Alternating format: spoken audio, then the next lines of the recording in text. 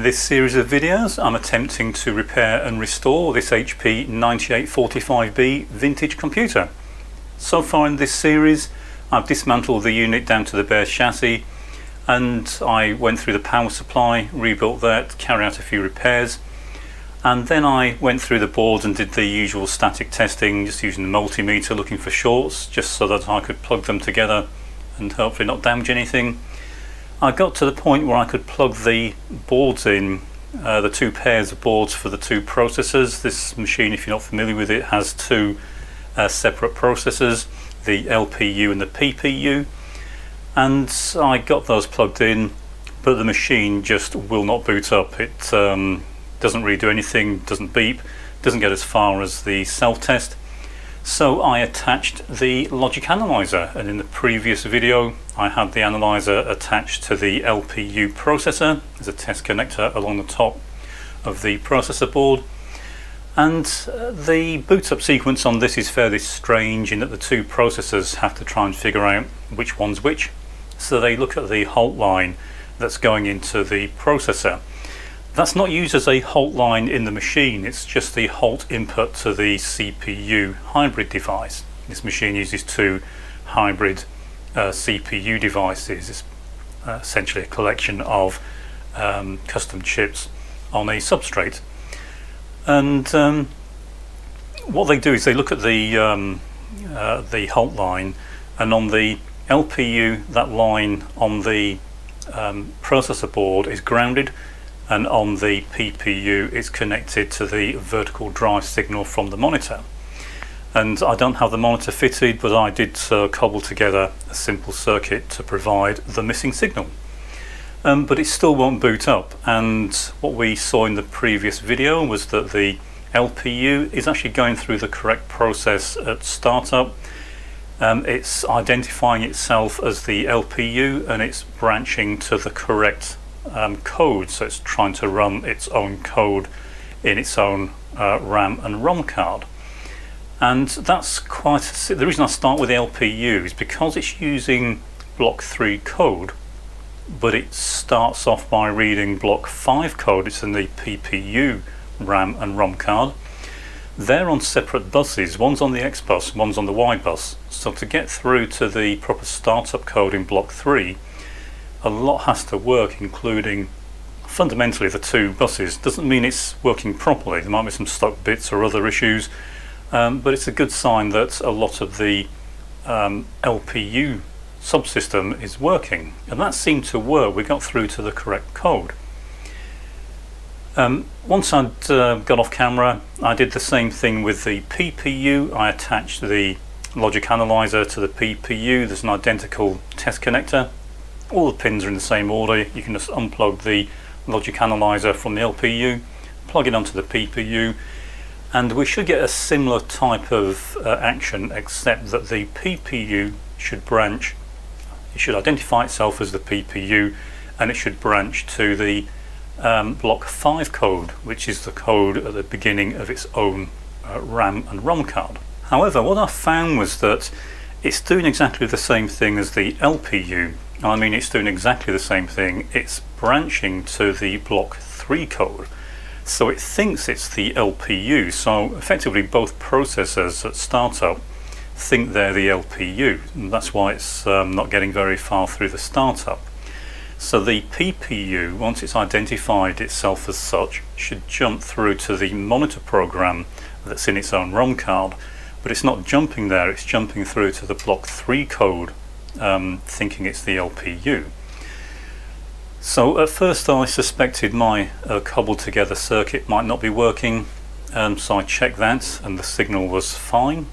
Compared it to the actual monitor and it's pretty much identical certainly well within uh, the limitations the system would need to start up.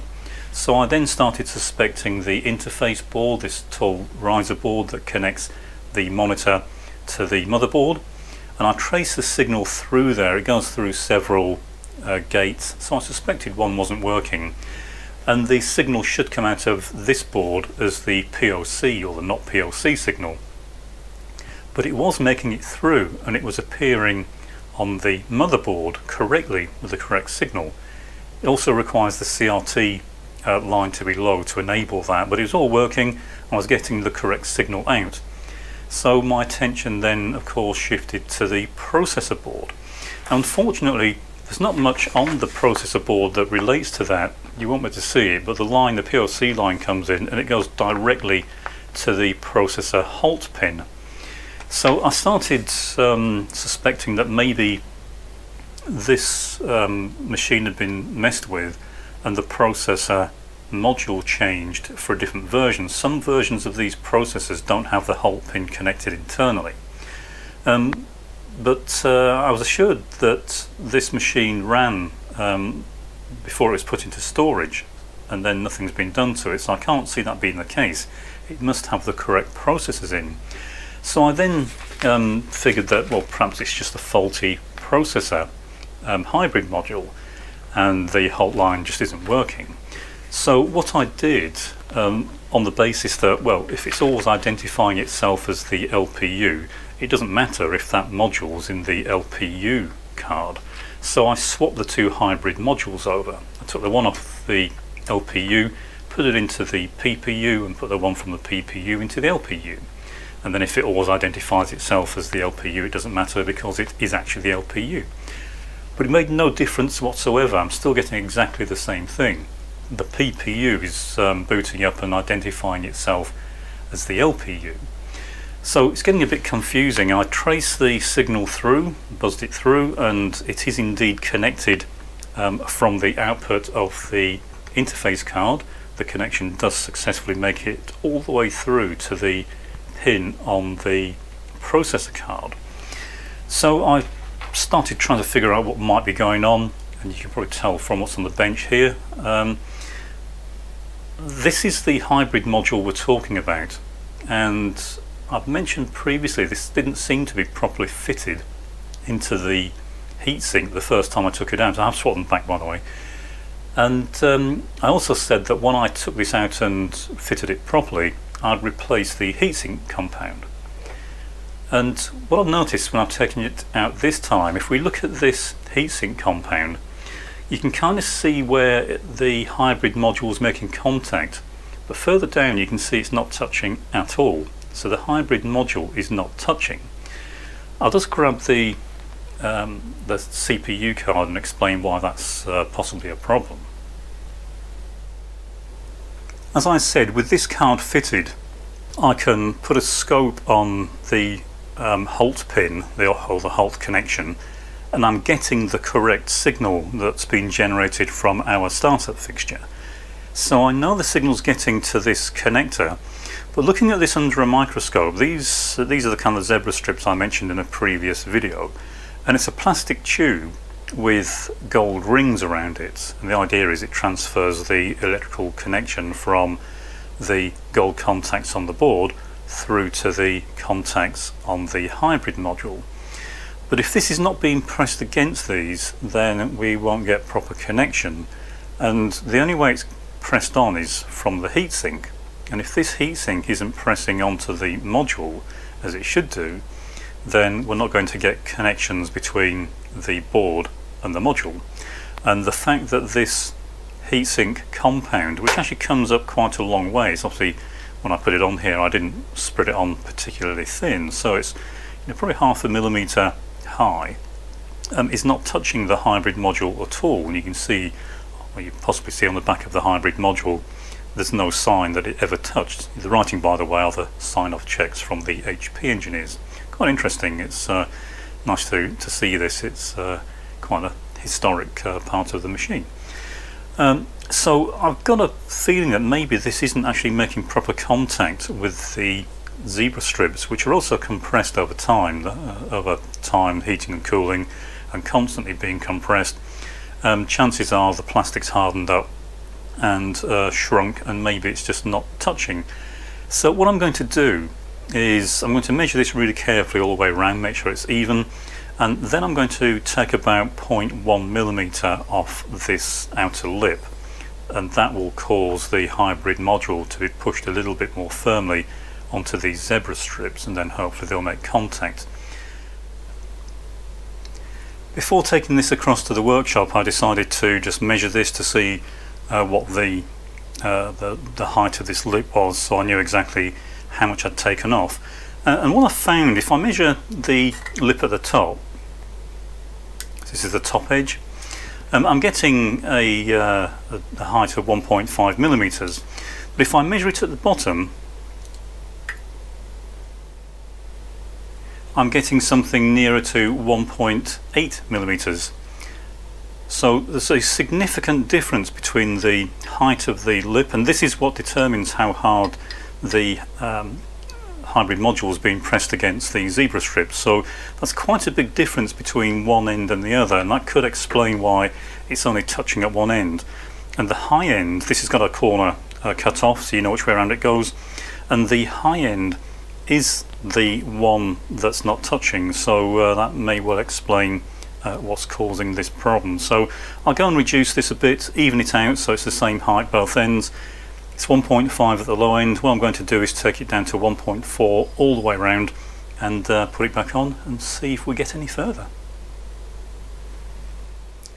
Okay, well I've taken anything between 0.1 and 0.15 millimeters off depending on where it was so it's now even all the way around. It's also flat and I did that with emery cloth on a piece of glass plate and so now this in theory should put a bit more pressure onto the hybrid module and push it slightly harder onto the zebra strips and evenly all the way around. So I'll put some fresh heatsink compound on here, refit this to the board, try it in the machine and see what happens. What I've shown so far in this video was shot quite some time ago when I first started working on this machine and when I initially powered this up it was pretty much completely dead. I wasn't getting any, activity on these boards at all. This is the PPU card and I uh, initially suspected that the uh, hybrid modules were faulty. They weren't behaving the way they should. There was a clock going into them and there were two clocks coming out as there should be but most of the other signals didn't look right or just weren't present at all. So it wasn't outputting certain signals that it should have done. And uh, so I started by taking the uh, hybrid module heatsink off so I could have a look, see if it was cracked. Found a lot of dirty connections around the edge of the hybrid module, which I did show in the video. Um, but I decided to show the repair I carried out to these modules in a separate video. That's why this video is now being shown.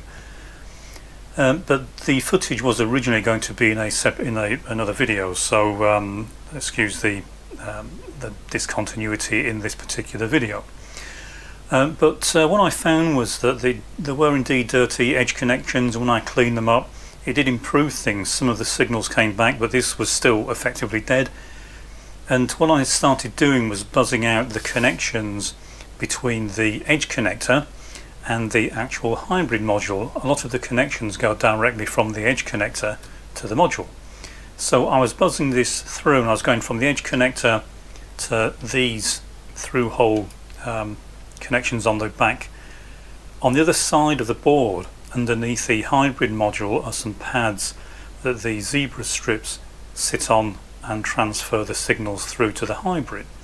What I noticed was that even though all the nuts were tight I could move the module around it would kind of slide easily side to side so just very gentle pressure and it would move around and if I tipped the board from one way to another the module would drop from one end to the other so it obviously wasn't being held in place. So that's why I made the changes that I did. Now following the changes I buzzed out the connections again so for example the halt line was previously reading as open circuit so no continuity whatsoever between it and either ground or V+. Uh, once I'd reduced the thickness of the heatsink, the module stopped moving around. And so if I buzz between the edge connections and ground and V plus for all these connections, I'm now seeing something, whereas before about 10 of them were just completely open circuit. And um, once I'd done that, I plugged the card back in. Machine still wouldn't boot, there were quite a few other problems, but at least now I was seeing the correct signals coming out of the hybrid module and the board started coming to life. It actually started trying to read the ROM. So I'm pretty sure that um, what had happened is the, the zebra strips had just uh, shrunk over time. The um, actual heatsink wasn't machined particularly accurately, but I'm assuming that didn't really matter when the strips were quite flexible. But as they've shrunk and hardened up, then a certain part of it, so about the top third, very few of the connections were making it through to the hybrid, if any. Some still read very high in the sort of tens of mega ohms, but they were reading completely open.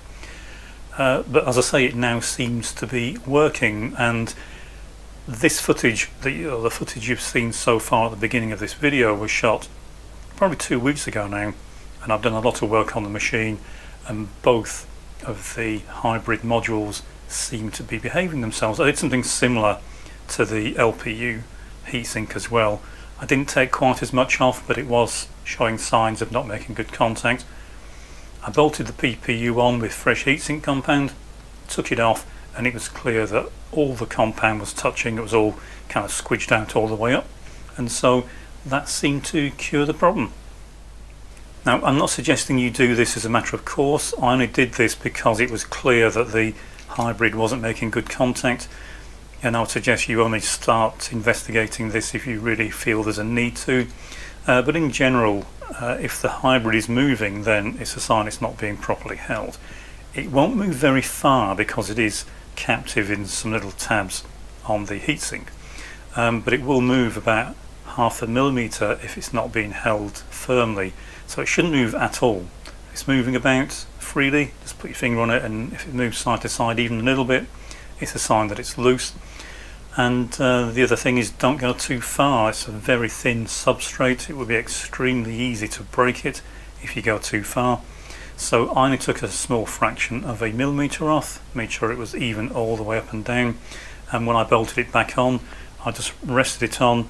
And you don't really want a big gap along the edge. If you've got a one millimeter gap um, don't try and bolt it up. You will break the hybrid. So um, that uh, in this case seemed to do the trick it brought the board back to the point where it was starting to try and read the ROMs and um, hopefully at some point I'll get this machine resurrected but I don't believe it would ever have worked properly without modifying these heatsinks.